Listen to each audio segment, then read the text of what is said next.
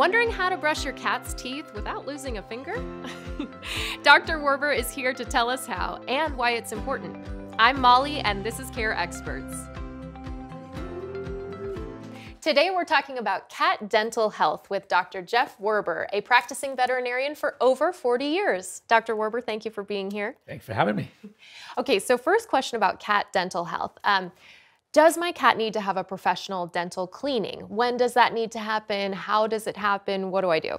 Uh, the answer, yes, absolutely. Uh, unless you have a very unique cat, uh, they need to have their teeth cleaned, usually starting around the age of three to four. And the way you tell is, first of all, uh, if they ever pick up food and drop it or increase salivation, something's going on in the mouth. Um, the problem with cats is they will get something called cervical line lesions, which are the closest thing to our cavities. And the nerve is exposed and they are very painful. So when we see that, the, unfortunately, the only treatment is to extract the tooth. Obviously, it has to be done by a veterinarian. Um, when you see tartar building up on the teeth, that's a sign that the teeth need to be cleaned. When the gums are red and irritated, another sign. Some cats get something called stomatitis, or again, in advanced cases, the only treatment is all the teeth need to be pulled, or at least the teeth that are involved in that stomatitis. So uh, I would recommend a, thorough exam by your veterinarian at least once a year, uh, once the uh, cat is three to four years of age, and most likely will need some professional cleaning every year. Okay, great. And then when I'm at home, uh, to prevent, you know, having to get a ton of teeth cleaning, what do I do at home? How do I take care of my cat's teeth? Do I brush them myself? What do I brush them with? Human toothpaste, animal toothpaste? What okay, so you definitely need to brush your cat's teeth. Uh, not an easy task. I will tell you, not an easy task. Uh, it's great to start with them when they're very young before they need it, just to get them used to the process. You can just put a little bit of a kitty toothpaste. It's non-sudsing. It's usually like chicken or shrimp, you know, fish flavored, and just rub a little bit on their gums. Instead of going at them, I often recommend going from behind them, like you're petting them in the cheeks, and then stick your finger in there and just start rubbing the paste on their gums, just to get them used to the process. Each time, spend a few more seconds until it becomes somewhat routine for them, and do it before a meal, before a treat. All right? Because that way they'll look forward to it, knowing that every time mom comes at me with this finger and this paste, I'm going to get to eat. So oh, make so, it a positive. Yeah, so feed them right after so they go. But, hmm. do it regularly. If that plaque, which is the film left over from the from the food they eat, is there un, you know, not removed for more than two, three days, it starts to harden and becomes tartar, then you can't get it off. It's no good. Right. Okay, great. So are there any foods that help with my cat's dental health? You know, interesting when it comes to foods, people think, well, you feed them dry food. That's going to crunch up. The, the, truth of the matter is, nothing is going to help. Uh, some cats, if they really like to chew on toys, that might take care of the plaque. Um, but there's there's no way to remove it other than really thorough brushing. And don't count on the food. Interestingly, when you think about with dogs and cats both, you know what what teeth do they use the most when they chew hard food? The molars and the premolars. And yet, those are the teeth that actually have most of the tartar. So that theory is blown. Uh, the reason for that is the salivary ducts, which, when it comes to the plaque and what makes it harden, it's the bacteria in the mouth and saliva. Those salivary ducts empty into the mouth right above those premolars and molars. No wonder why they're the ones that are getting the most plaque and tartar. So it's just, um, it, it needs professional cleaning or home care essential. That makes a lot of sense. And are there any dental treats or chews that help? There are many treats and chews out there. depending on if they're going to help, it really depends on the individual cat, how they're using them, how often they're using them. Some will, you know, will can chew and chew and eat and play, and nothing helps. Some I've, I've opened, you know, lifted mouths and lifted the lips of some cats, and their teeth are gorgeous. They're good. You must be brushing their teeth regularly. They go, no, I hardly ever brush your teeth. Oh my gosh. you are a lucky mom. so that's wonderful. Um, so, what are some of the consequences of not cleaning my cat's teeth, or when it does get to this point where the plaque is built up? That's where they get the the severe dental disease. They will get stomatitis. Uh, they will have horrendous breath, and most likely through you know if these symptoms are ignored and the problem progresses, then you're going to end up having to extract a lot of teeth. And we don't want that. We ideally do not want that.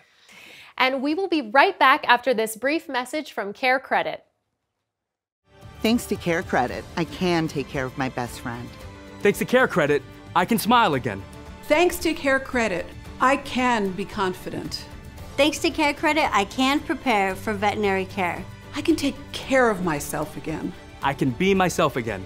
I can plan for Cooper's care.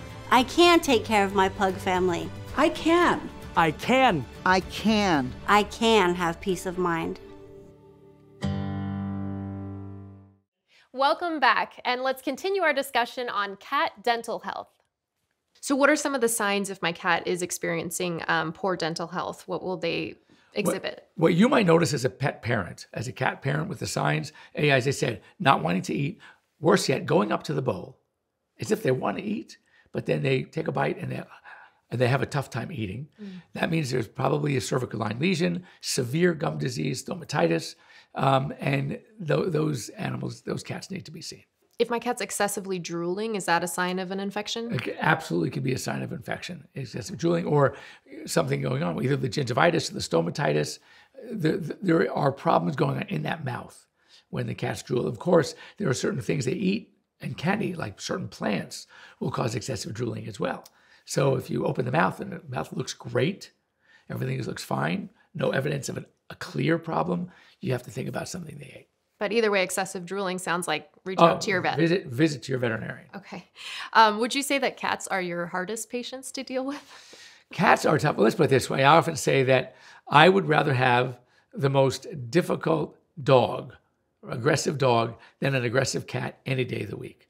My, I'm full of them. But when I get scratched or, or, or bites, and my most recent one was I don't really care much about my dog bites. Clean them up, soap and water done. Cats, on the other hand, they have really dirty mouths, and uh, and they're they're so good with their back feet too. So uh-huh. so when they don't want to be handled, and they're fast, they are really fast. So uh, yes, tough cats, way more difficult than a tough dog. So you did mention stomatitis a couple times, and I just have to ask, what is stomatitis? So stomatitis literally means in, a stoma is the mouth opening, and it's inflammation of. It is think of gingivitis or periodontal disease on steroids. It is so bad that the actual gums and the cat's mouth is rejecting its teeth. It's an allergic reaction, if you will, a hypersensitivity of the cat to its own teeth causing all this severe, severe blown up inflammation in the mouth that is so tender. It is so painful for the cat. They salivate, they don't want to eat. And as I mentioned, oftentimes the treatment of choice, fortunately rare, uh, if they don't respond to steroids and other medications that might help reduce that inflammation, it is extracting the teeth. And some cats have what they call full mouth extractions. But it solves the problem. So, if there's an unexpected situation with my cat and I feel a little hesitant to bring my cat in because I'm worried about financing, um, do you all offer financial options at your practice? Uh, we do offer uh, something that I really like the most, and my clients really like it is Care Credit because with Care Credit, you have the option to pay over time uh, the Care Credit. It's it's it's a great way to help all of us provide the best of the best and keep everybody happy.